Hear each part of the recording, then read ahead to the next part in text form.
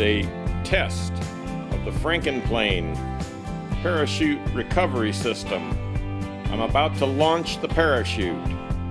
Five, four, three, two, one, launch.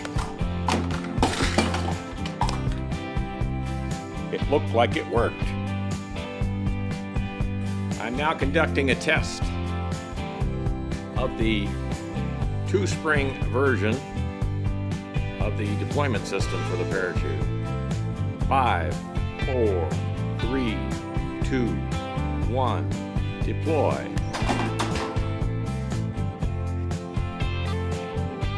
This is the uh, second test of the dual spring chute deployment system. I'm getting ready to hit my gear switch, which will deploy the chute. In five, four, three, two, one, deploy.